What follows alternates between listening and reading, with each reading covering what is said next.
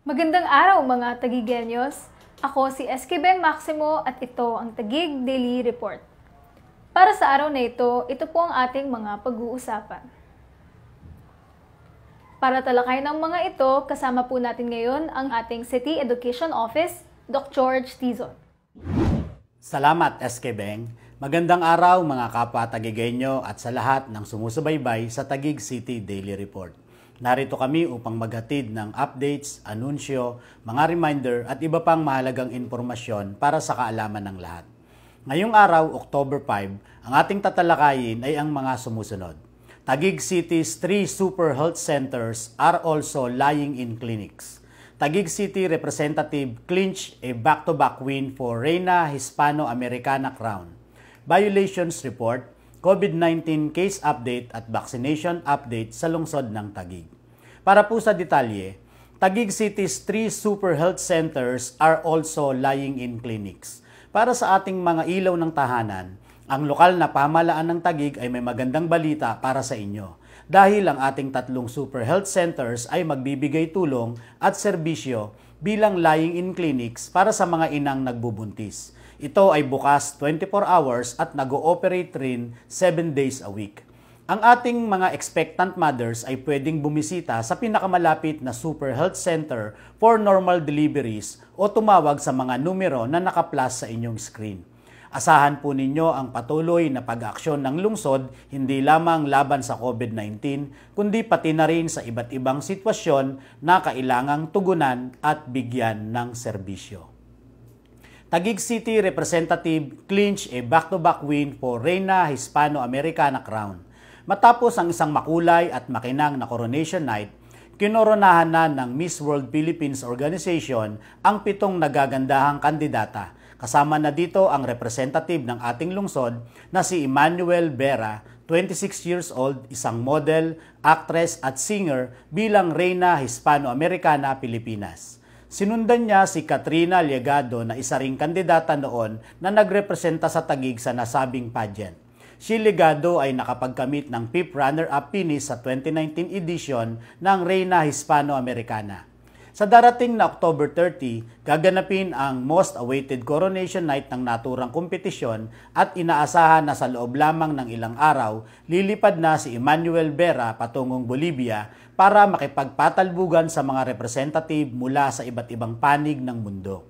Mga tagigenyo, ipagdiwang natin ang back-to-back win ng lungsod at suportahan po ang ating bagong reyna sa kanyang darating na international competition.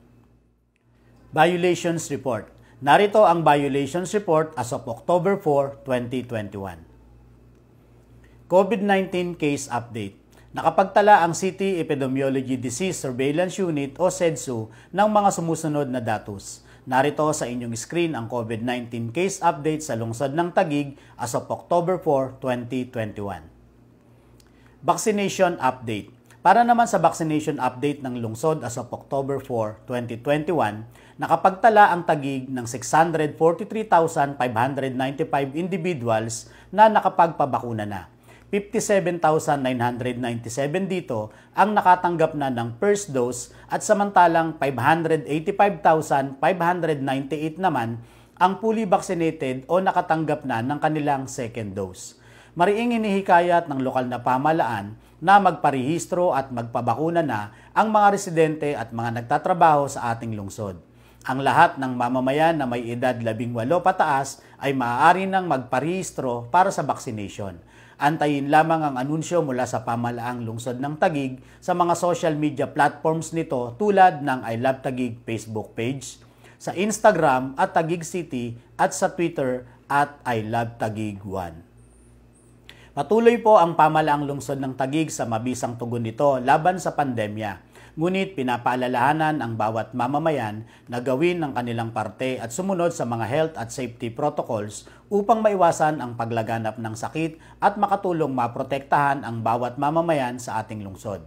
Magsuot ng tamang face mask at face shield tuwing nasa labas, panatilihin ang isang metrong physical distancing, maghugas at magdisinfect ng kamay at iwasan ang mga matataong lugar. Ang Tagig rin ay laging nakahanda para sa inyong mga concern ukol sa COVID-19. Narito ang ating hotlines na patuloy na naglalayong harapin at sagutin ang inyong mga katanungan. Maaaring tumawag sa ating telephone number 8789-3200 at mobile phone number na 0966-419-4510. Dagdag pa rito, may mga health center hotlines rin ang bawat barangay na nakaplas sa inyong screen na pwede nyong tawagan. Pinapaalalahanan ng Tagig ang mga mamamayan na bukas ang pagpaparehistro sa ating Tagig Registry for Access and Citizen Engagement o TRACE. Pumunta lamang sa trace.tagig.gov.ph, mga TRACE kiosk sa inyong barangay o sa pamamagitan ng house-to-house registration at habang inihintay ang inyong kategorya na magbukas, ang Trace App ang magsisilbing basihan rito para sa pagpapabakuna. Panatilihin natin ang bayanihan sa lungsod ng Tagig habang tayo ay nasa ilalim ng General Community Quarantine o GCQ Alert Level 4. Muli, sumunod sa mga alituntunin ng nasyonal at lokal na pamalaan. Tayo ay makakabangon sa ating pagtutulungan. Maraming salamat po.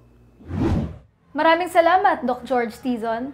At maraming salamat po sa inyo sa pagsama sa amin ngayong araw para sa ating Tagig Daily Report. Para sa latest information and updates patungkol sa COVID-19, maaari po lamang bisitahin ang ating I Love Tagig Facebook page o di kaya naman pumunta sa website na www.tagiginfo.com. Maraming salamat po sa inyong lahat at dito sa Tagig, magpatuloy tayong magbayanihan.